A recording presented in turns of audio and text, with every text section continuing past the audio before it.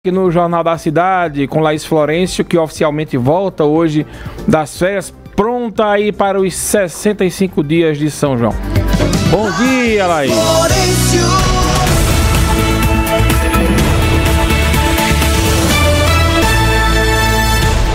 Dia, Mário. Bom dia a todos que nos acompanham aqui dentro do Manhã Cidade. Você falou em São João, hoje eu levei até um susto quando eu cheguei no centro da cidade, que eu não tinha passado por lá, ainda não tinha visto as bandeirinhas, a decoração. Eu disse, meu Deus do céu, já é São João. E estamos sim prontos aí para levar muito forró, muita informação para todo mundo que vai acompanhar o São João na cidade. E falando em notícia e informação, eu chego agora com os destaques do jornal. E vocês ouviram agora há pouco, né, com Carlos Nogueira, sobre a junta militar aqui em Caruaru, que voltou, né, com o serviço de atendimento lá no tiro de guerra, na rua Belmiro Pereira, sem número, no bar Maurício de Nassau. E eu trouxe agora para vocês algumas das coisas que pode acontecer com o jovem que não faz o serviço militar, né, não se alista.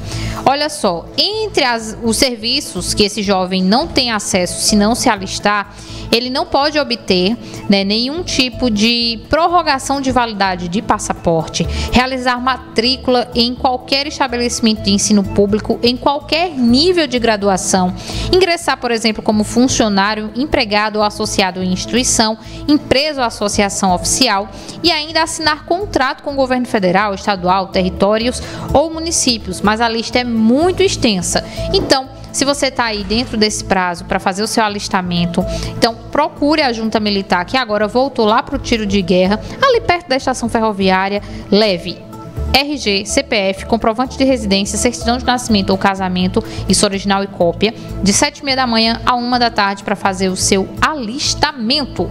Bom, Agora eu mudo de assunto para falar sobre internet, né? E olha só, o 5G deve chegar a mais cinco cidades aqui em Pernambuco. Segundo o Ministério das Comunicações, as cidades de Xangrande, Vitória de Santo Antão, Condado, Itaquitinga e Tracunhaém já podem iniciar o processo de infraestrutura para a tecnologia de 5G.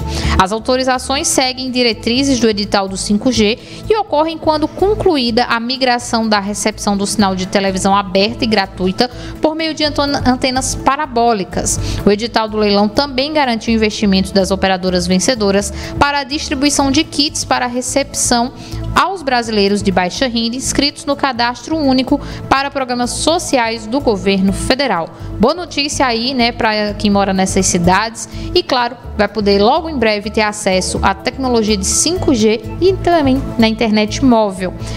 Fim, um outro destaque que a gente trouxe hoje no jornal e eu trago agora também para vocês é sobre como fica o pagamento para quem é MEI né, do imposto com o reajuste do salário mínimo. Isso vai se impactar, né, o, o, novo salário mínimo agora é de R$ 1.320, foi assinado na última segunda-feira, e interfere também em pagamentos como aposentadorias e PIS-PASEP. Pois é, os microempreendedores individuais, os MEIs, também vão precisar pagar uma contribuição mensal mais cara. Esse, vale lembrar, já é o segundo aumento do ano, afinal o salário mínimo já havia sido reajustado em janeiro. A base do pagamento é de 5% do valor do salário mínimo, que agora é R$ 66,00 para cada setor, e há um adicional no caso dos trabalhadores do comércio, da indústria e do serviço de transportes, é acrescido um real de ICMS e a taxa sobe para 67 reais. Serviços em geral contribuem com mais cinco reais do ISS. Aqueles que contribuem nos dois setores contribuem duplamente e pagam mais seis reais, totalizando R$ 72. Reais. Os caminhoneiros pagam mais, 12% do salário mínimo ou R$ 158,40 em 2023. 2023. E a cobrança do ISS e ICMS depende da carga que levam e do território para onde eles vão circular. Então, se você é MEI, fique atento porque a partir desse mês a cobrança vai ser um pouquinho mais cara. Esses foram alguns destaques, Mário. Lembrando que o Jornal da Cidade sempre às 7 horas da manhã, de segunda a sexta, comigo e com Rodrigo Miranda. E claro, todos estão convidados a acompanhar e participar. Volto com você. Obrigado, Laís. Mais uma vez, bem-vindo de volta aí das férias.